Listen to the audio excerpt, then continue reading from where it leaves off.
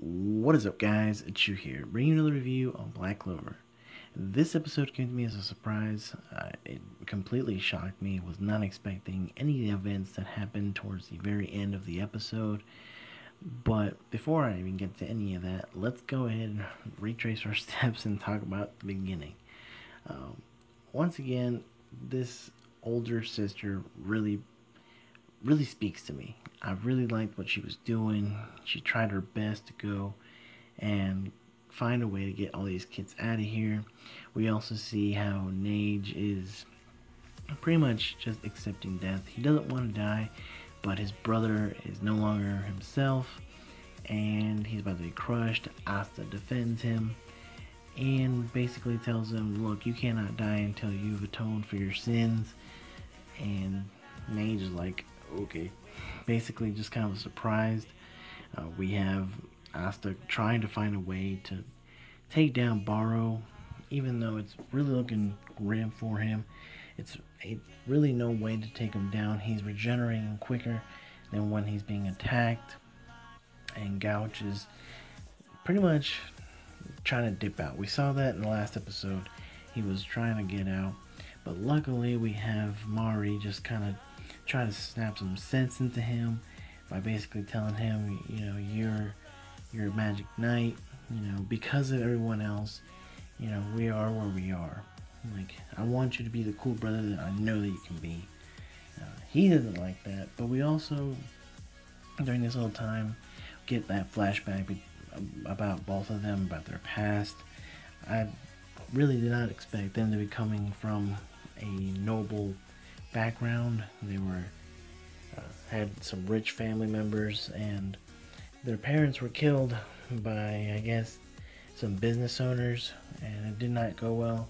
Um, but that's what made Gauche become the criminal that he is because he had to look out for his sister. He basically developed this sister complex because it was just them two against the world. So it makes more sense now why he has this complex, why he's always worried about his sister, why he sees his sister as an angel, and why he wants to keep her that way. So I thought it was really cool to get that, that explanation out of the way. But an even bigger surprise was to know why his eye was covered. Like we see him come back, and we see him, you know, joining with Asta. At first, not really. He was not a fan of. And then he thinks back on the time with Yami, where he's like, you can protect whatever you want, but someday it'll help someone else out. And sure enough, it's that time. We see how he basically creates this new spell, and Asta has the same kind of deja vu moment that I have with Noelle, where Noelle's magic transferred into his blade, and now we have Gauche's power or magic going into Asta's blade, and it's causing more damage but now that Gauche creates this new spell, we have uh, Gauche having a kind of glass eye being revealed. And it's basically what he already has just in his eye. And he looks at Asta, and Asta is able to basically, basically Kage Kage, Kage Bunu Jutsu. I, I know butcher that name. Had a shadow clones everywhere and well, it was called that marriage Barrage or Mirage Brigade. I'm sorry, and just it starts tearing into this monster, taking down Sally as well, and it's looking hunky dory. We even had the kids, you know, kind of being able to get to the outside. They're starting to get together.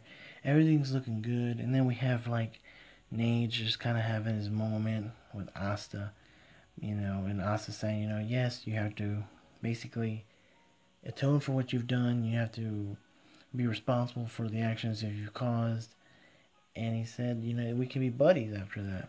But nothing ever good happens when a scene like that happens.